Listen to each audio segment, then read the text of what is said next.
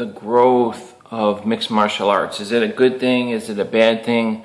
What is what are my thoughts on it? Mm, it's one of those things where, where we will have to see if it's good or bad. I kind of have a feeling it's not a good thing.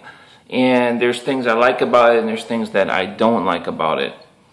Um, what I like about it is that it makes it easier to follow. The more popular something is, the, the more uh, buzz about something, the more coverage uh, of it of something. I mean, I mean, back in the day, we were watching fighters. I had never even heard them even speak before.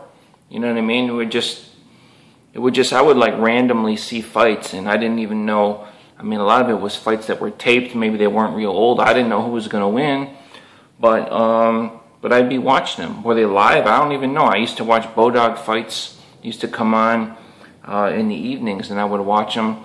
And uh, I don't even know if those fights were I mean, they weren't live, but they weren't old. I don't even know, just random fights, but I didn't know who was going to win. And I would just see fighters. I mean, I didn't really follow who was champion and everything. I mean, this was a long time ago. Um, but it was an underground thing. Like these Bodog fights would come on, you know, it'd be real late at night. And that wasn't even that long ago.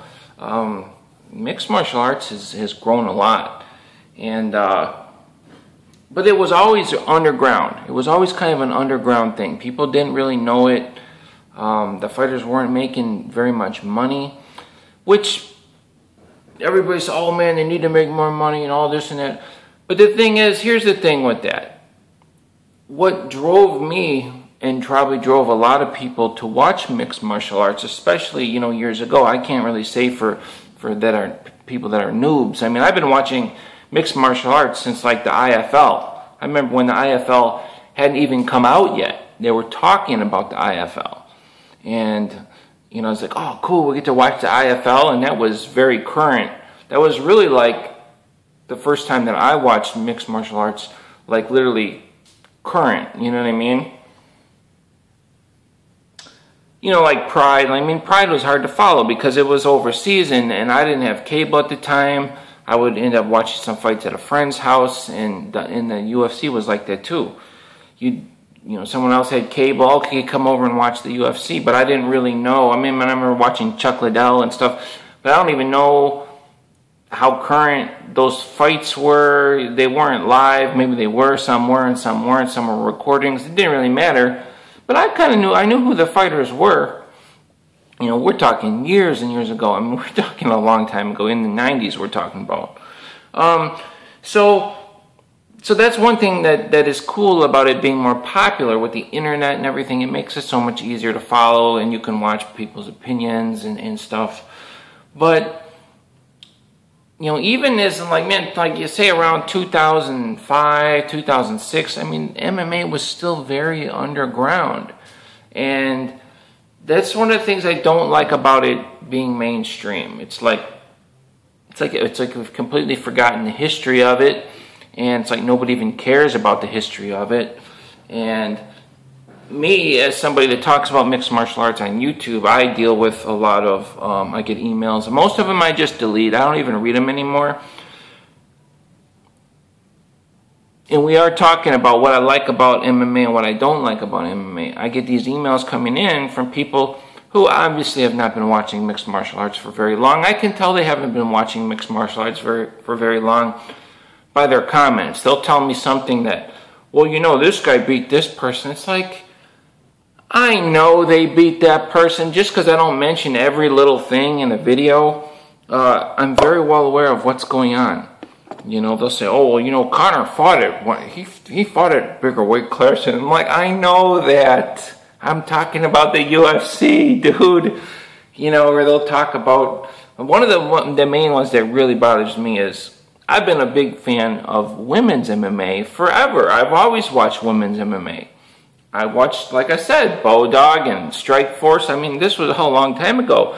I mean, I remember watching Tara LaRosa destroy pretty much all the girls, you know, at least um, in, in American culture and in European and American culture, um, Tara LaRosa destroyed everybody. Do you ever hear any other female mentioning Tara LaRosa? I, I don't ever, I know none of these girls nowadays, they even mention this girl. This girl's record was better than any of these girls that are fighting nowadays and she would destroy all these, she destroyed everybody and she was doing it for no money. It wasn't a popularity contest. I mean, she wasn't as pretty as a lot of these girls now, but I mean, I have a lot of respect for Tara LaRosa because they talk about, you know, Ronda Rousey being a pioneer. What are you talking about, pioneer? This, these girls have been doing this for years and years and years. And even Shayna Baszler. I mean, Shayna Baszler is my all-time favorite uh, female fighter. I watched this girl for years and years and years. And I'm kind of getting off subject a little bit, but see, I kind of liked it when it was underground. You know, like people are like, man, you want to watch Tara LaRosa over some girl like Miesha Tate? Look, I know Miesha Tate is fine. She's fine as all hell. She got a booty. She got some fake titties, by the way. I like Miesha Tate. I like girls that are attractive that are fighters. But I'm just saying we have other means of things. We, of I'm trying to keep it clean. You know what I mean? We have other things to watch if you want to watch TNA. I watch plenty of TNA, you know, outside of fighting. Don't worry, you know. But the thing is, like, what I'm saying is, it's like when something becomes mainstream, you know, people forget. It, it just it changes everything. Is what I'm saying. It's not as raw. It's not as it's not as raw. It's not just raw in its purity. It's not as real you know, take Conor McGregor, for example. I get a lot of comments about Conor McGregor if I say anything about Conor McGregor. And the whole reason Conor McGregor acts the way he does, which I do not, I'm not an advocate of. I mean, nobody acted like that years ago when there's no money in it. And if there wasn't money, if it was just fighting, would Conor McGregor be acting like that? Absolutely not. He wouldn't be acting so um, uh, braggadocious and, and so he wouldn't act like that. The only reason he's acting like that is because he started doing a little of that and he got good response from it. Everybody, you know, people egged him on. They egged him on, so he kept doing it more and more. It's, you know, what happened to being humble or just, I'm just a fan of fighting. I mean, I'm not a fan of that. That That is, to me, is theatrics and, and drama that's something I'm not interested in. You know, it's soap opera. I don't watch soap operas. Theatrics, that's WWE. I don't watch WWE or whatever it's called. I don't watch that. Theatrics. I don't need that. Um, it doesn't make a fight any better for me as a fan. I'm not interested in that. The proof of that is, is I watched MMA long before anybody, before anybody did that. And then these guys started coming into MMA and doing it, and it brings a lot of people who wouldn't who would know you know in other words it was this little tiny bubble of true fight fans just people that made their way to mixed martial arts i come from watching baseball and nba i'm from chicago. I watched all the michael jordan years. I was a huge basketball fan. I don't watch nba anymore. I don't watch baseball anymore. I watched those those sports for years and years and years and i lost interest. Of course, I, was a skateboard kid, so I always had that subculture. And then when I got older, I, you know, quit skating, and I kind of found mixed martial arts right at, at that time. Um, you know, when I was maybe 19 years old, 19, 20 years old, right around that time. And, uh, you know, I, I, got into, into mixed martial arts as a subculture. So when you start bringing in things like when it grows in popularity, you start getting, basically you get all the dorks, man. A subculture is a little bubble of really cool people that have an interest in something exactly, exactly like yours. You know, whereas something like baseball, you, you, you could have people that are fans of baseball that you, you have nothing in common with, and you don't even like them as a person. Whereas when something is a really small subculture, there's a much more chance that if you meet somebody that is in that little bubble that, that your personalities will mesh. And, uh, and that's what I'm saying. I remember one time about 10 years ago, I was in the gym, I was a personal trainer, and I, uh, I ran into somebody we were just talking, and he asked me a question about some exercise or something. And somehow we started talking about mixed martial arts. And we were talking, I mean, I was talking Shayna Baszler and all these fighters and, you know, Fedor. This guy knew every, every single person. And I was just like completely blown away. I'm like, that somebody would know who Shayna Baszler is. I was just like completely, just completely blown away. And it was like, we were just instant friends. And like, you know, every time I seen him, I'm like, oh, what's up, man? Whereas though I was like, have to say to hi to people in the gym that you don't even couldn't even. I would talk to people all day, but it was you know a lot of it was small talk. It was very seldom I got to talk something talk about something that I was interested in. So here I am. I met one person like in all these years that, that knew about mixed martial arts. I mean, I never ran into anybody. I didn't, none of my friends, nobody knew about MMA. I mean, maybe your average person maybe would know, like I said, like Chuck Liddell or something, or you know, or GSP, or they you know, they would mention something like one of my friends, and it would be from like 10 years ago. Oh, as I used to like, who's that guy that beat George St. Pierre? I used to like that guy. Am you know, like, talk about stuff from, you know, a long time. That's like current, somebody would say that, that doesn't know MMA, and that's kind of like what it was. So, but what I'm saying is when it was a subculture, when it was not as popular, because it's still pretty underground, um, I liked it better because it was more just in its purity. It was in its purity of, of fighting. Uh, was the fighting as good? You know, probably not because, you know, people had to work jobs, um, you know, and stuff like that. I don't want to get too, too much on a tangent, but basically, the growth of MMA, in my mind, and, and paying fighters more is, uh, is not a good thing. Take Nick Diaz, for example. I, Nick, Nick Diaz, his running strike force, I mean, I, I, I can't ever remember when I was more excited about watching a fighter fight than when Nick Diaz was in Strikeforce. And just, it's like he kept getting better and better and just terrorizing these guys. And it was so entertaining and it just made me such a fan of Nick Diaz. So let's bring money into the picture. Now, Nick Diaz, he was making 200 grand for some of those fights, uh, you know, around that, that area, you know, fighting Paul Daley and some of these other people. Don't quote me. I mean, I was fights he was making 75 grand, but he worked his way up. So he was getting some decent paychecks. But fast forward to him fighting Anderson Silva, which Nick surprisingly looked good. He really looked good against Anderson in that fight. Now, here's the thing they paid Nick Diaz a bunch of money. He showed up in that fight. I don't I don't know what he was thinking because Anderson Silva's confidence was a little bit shattered in that fight. You know, coming into that fight, Nick Diaz probably could have beat Anderson Silva if he had got after him. But I think it was one of those things. It's like Nick Diaz has been quote unquote retired or semi-retired, and they pay him a bunch of money, pay him 500 grand to show up I think his attitude was, you know, yeah, I'm going to fight, but I'm going to stand right here and just make a spectacle. He just didn't, he didn't seem like he cared if he won. And when he was in Strikeforce, when Nick Diaz was in Strikeforce and he wasn't getting paid as much money, and when he, you know, believe me, it meant a lot to him to win. It meant a lot.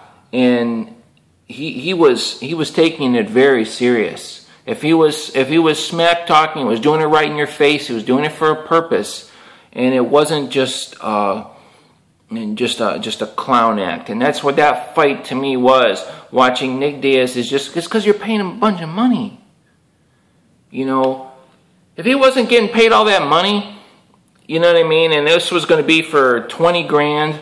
And if he lose, if he lost, maybe his next fight he's only going to make 10 grand and you know he, he's still trying to work his way up believe me he's not going to be standing in the center of the cage just standing there which is entertaining and everything and it did actually it proves a point too it's like come on let's fight you know these guys don't want to fight i get it but the thing is it's it, it kind of ruins the sport man it makes it makes a mockery it makes a mockery out of out of fighting when you're paying guys a bunch of money. That it, it doesn't You know, it's like guys calling people out. You got Michael Bisping as a champion. He's calling people out that aren't even in the top five or even top ten, or he's calling people who aren't even in the division. And I'm just like, what is going on here?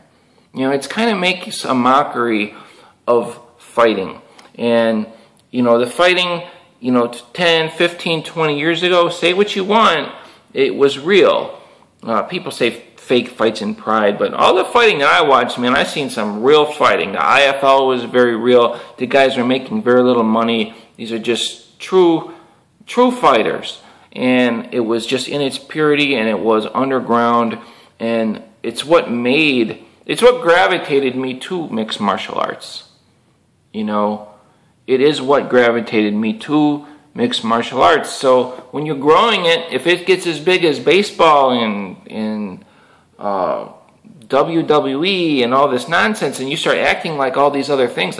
That WWE, that fake wrestling, I've always hated that stuff. I've never liked that stuff. I could never even watch it, even for five minutes. Even as a little kid, I was like, this is stupid. Why is it stupid?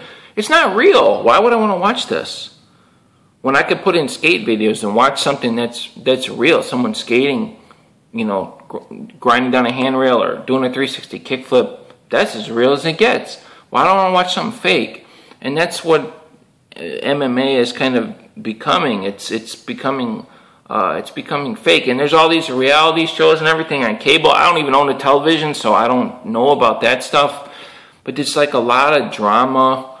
Like that's man, that's like soap opera. Watching soap operas and stuff, man. I I I, I do not think that place that that stuff has any place in fighting and I, I ultimately think that uh, if MMA continues to grow, that uh, for me as a fight fan, it will. Um, I don't know how big it would have to get mixed martial arts for to, to where I wouldn't even follow it anymore. Um, but it's going in that direction. I, it's it's a long way away from me not wanting to watch and follow because obviously I do still follow the UFC, and uh, you know, but I, I, I do think that the growth and, and popularity of MMA is uh, ultimately not a good thing. And I'm sure people can make a million cases, drug testing and all this, the, the why it would be better if it's more popular. Fighters will get more money. But that's not what attracted me. I'm not saying people shouldn't get money, but I, I don't, it's better when they don't. I mean, I'd almost rather watch a fighting organization where there was no pay it was for charity or something like that. Because you're going to have the real fighters there, and you're going to have all this nonsense and Conor McGregor's and just. And the thing is, Conor's a great fighter. I'm not even knocking Conor McGregor. Like I said, I believe he just acted like that because people egged him on. He used to be more jokey and. I mean, he's a, he's a, a very entertaining fighter.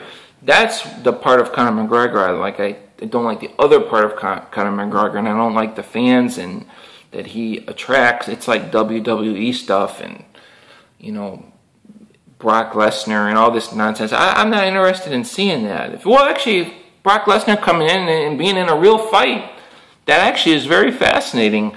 When uh, he came in and uh, when Frank Mir, what he put an ankle lock on him, like oh, I forget, but that was really really cool. That was really really cool. I'm not gonna lie. So, but yeah, but just the popularity of, of mixed martial arts is uh, if it, it's getting popular for the wrong reasons.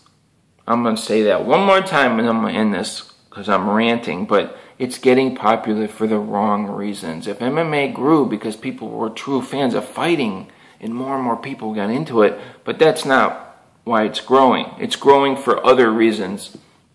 Drama, uh, just I don't know. It, it's becoming a spectacle, and I and I don't like it. I'll see you guys later.